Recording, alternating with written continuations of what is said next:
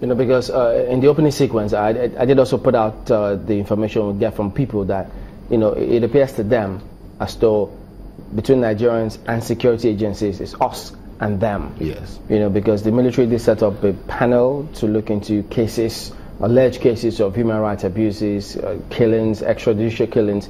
Is that the same case you see here, where it's still a case of us and them? Because I mean, if we say in communication, it's never complete until there's feedback. Yes. And now you also say, at the point where he was saying, well, if there's any such case, we will deal with it. But it seems to be hanging. How do they get across to you to sort that matter out?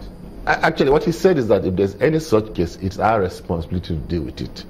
He didn't say, he actually dismissed out of hand the existence of such cases. Fundamentally, that's a problem. So we, we can't assume we, that we they can't will look into assume it. that because there's been no there's been no procedure put in place for looking at it. Or formal report. We've been told that there is no report, and there is none expected. If there was, that's almost a past tense situation, and that's a flaw. I mean, I'm not sure it's totally just his own flaw. I think it's a flaw in the general thinking that says uh, we reach conclusions and we conclude fast, and anyone that has any opportunity to try and project that there might be something that's not right about it is an enemy or someone trying to pull us down.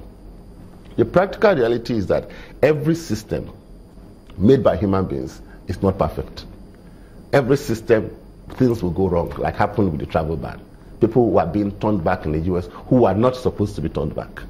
I No, mean, no, the, the narrative goes as such. I am an American. Yes, You cannot treat me like this. Yes. I'm an American. yes. Can't I say I'm a Nigerian? You cannot treat me like this. Well, you can say that, but you need to be backed up by, by things that show that you cannot be treated like that. Uh, and until uh, people start to act like it's an important, you see, we sometimes talk in Nigeria we accuse Nigerians of being unpatriotic. To some extent, there is some element of it. But the truth is that unless you put a value upon being a Nigerian, and that value has to be put by our leaders overall, that being a Nigerian means you're an important entity. And this has to be projected by, it's one of the jobs of government actually. It's one of the jobs of, profession, of official leadership to say, if you look at every organization, they come into place and success by the feeling of their own value. If you are in the IT world, for example, you need to see the way they talk about who they are. You need to see the way, if you worked in IBM in those days, IBM were the first organization to say you put on a particular kind of suit, you put on a particular kind of tie, because you are an IBM man. What they were doing was projecting a value upon the people. The Yorubas have a proverb that you can't sell your brother cheaply and want to buy him back expensive. That the value you put upon him is the value with which everybody else will look at him. And that's one of the gaps we have in Nigeria. We've not, we've looked at ourselves, and there's this, what I call, I don't know, paternalistic, uh, patriarchal form of leadership that we have. That when we hold positions of authority, whether it's in government or even in the family, that we give everything out, out of the generosity of our willingness.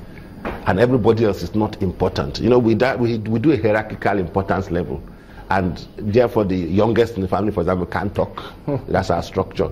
The people who don't have it are supposed to just say rankadede and go and move on with their business. You know, it's a concept that affects us even in our decision making and leadership. And you find out that when we get into positions, it then affects us because we then become, we have, a, this morning I was thinking about our tendency to arrogance in leadership.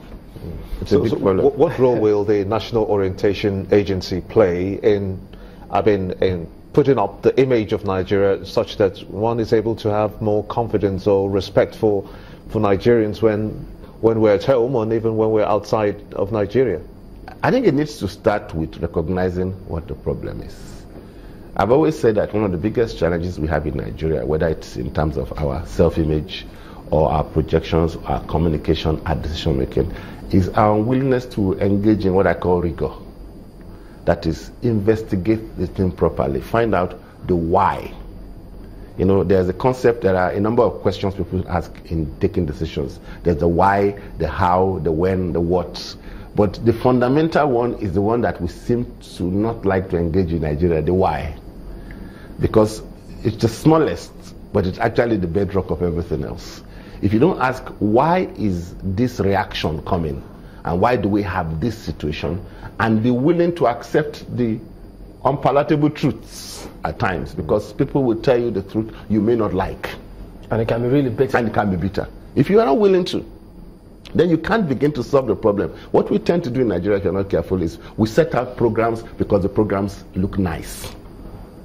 Programs have no ultimate objective. They have no clear-cut intention because they're not addressing a why. So we jump to the hows first and the what's. And because we don't have the why basis, you find that's why decisions in Nigeria are easy to put aside. We start a program, it runs for two months, six months, so a new government comes or a new minister is appointed and says, This is not my focus. Hmm. So, does that then mean, if I could again I'll, highlight the foreign affairs and the immigration policy of the US, does that then mean that from your submission, can we infer that he ended up asserting his office's position in terms of who can speak for the country He did. as opposed to just saying, okay, well, if any such thing happened, yes, you hear from me, or come forward, by the way, we're here waiting for you. That, that's, that, that was the missing link. The man on the street, the man who's been affected, who wrongfully may have been accepted. You see, we, the, this issue of facing the truth is a very serious question. We've got to be willing to recognize that even when you put everything in place, something may go wrong. And that willingness to address what, like you said in communication, that's why you have feedback. I may think I've spoken to you clearly. In fact, it's possible when you get to the minister that you say, I meant that. I'm willing to give him the benefit of the doubt that he meant that. The problem is that he meant that, but he didn't communicate that. Okay, so if we then accept that, or I'm speaking generically now, Yes. uh, something happens and there was an error, and we openly admit, okay, I made a mistake in this in Yes. this uh, area, so uh, it's my fault. Okay. I take responsibility for it. What does that take away from from one? It, it doesn't take away anything except for when you look at our perception of what leadership means. Never, for example, let me give you a simple example. In our culture, they will tell you that you never say the elder is wrong. I mean that's absolute nonsense. The elder can be wrong. I mean, I mean, I'm not, I'm not. Thank God, I'm not a kid anymore. And I have learned, I've brought my children up with the idea that daddy can be wrong, because I want them to have the willingness to correct themselves when they make an error.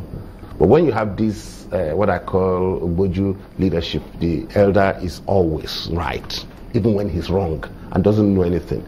And so somehow we've tied our self-esteem to never being wrong. And as far as I'm concerned, the only person being not being who's never wrong is God Almighty. And until one human being shows me that he's God, and I don't believe he is, then he has a right not to be wrong. But it doesn't, what it takes away from us is the standards we have set for ourselves and how we have valued ourselves. When you value yourself as never being wrong, and you say that is one of the uh, prerogatives of my position, it means to admit that you are wrong or an error has been made is to say that you are a failure. So that's why it affects your self-esteem. But if, for example, like growing up with my children, I said to them from when they were young, Daddy, number one, I said, Daddy doesn't know everything.